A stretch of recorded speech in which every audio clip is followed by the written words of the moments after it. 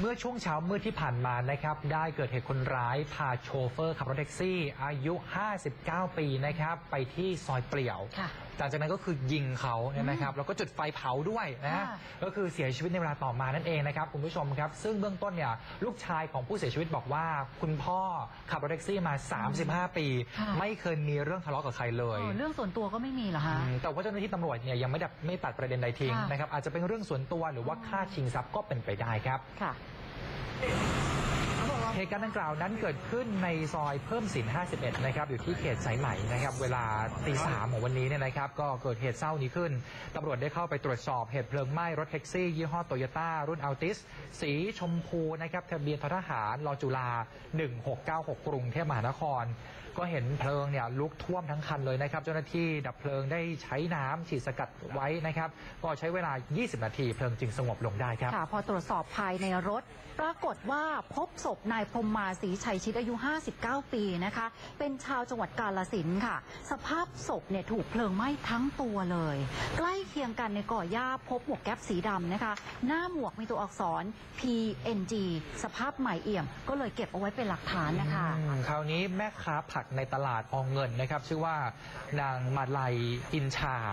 คือพักอยู่ใกล้กับจุดเกิดเหตุเนี่ยนะครับเธอก็ให้การว่าซอยนี้เนี่ยเป็นซอยเปลี่ยว คือมองดูสี่สองข้างทางเนี่ยเป็นป่าหญ้าไม่มีไฟส่องสว่าง แล้วก็เป็นซอยตันใช่ครับ สุดซอยเนี่ยมีบ้านอยู่แค่สองหลังเท่านั้น ก็คือบ้านของตัวเองอะ อ่า แล้วก็บ้านของพ่อค้าขายต้นไม้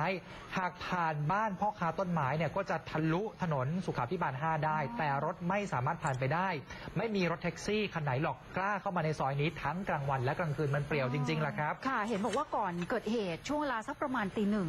นะคะได้ยินเสียงแตรรถยนต์ดังลากยาวอะค่ะ สักพักหนึ่งได้ยินเสียงคล้ายๆ กับอาวุธปืนดังขึ้นถึง3ครั้งแล้วก็มีเสียงสุนัขเห่าดังออกไปทางหน้าปากซอย แต่ก็ไม่มีใครกล้าเข้าไปดูนะคะจนกระทั่งได้กลิ่นเหม็นไหม้อะก็เลยออกมาดูเพราะว่าคิดว่าเป็นเพลิงไหม้หญ้าหรือเปล่า กลัวว่าจะลามเข้ามาที่บ้าน เนื่องจากบ้านเนี่ยเคยถูกไฟลามเข้ามาครั้งหนึ่งแล้ว ปรากฏว่าพบว่าเป็นไฟกำลังลุกไหม้รถยนต์อยู่อะค่ะ เพื่อนบ้านก็เลยรีบโทรศัพท์แจ้งเจ้าหน้าที่ตำรวจให้ลงพื้นที่มาตรวจสอบหน่อย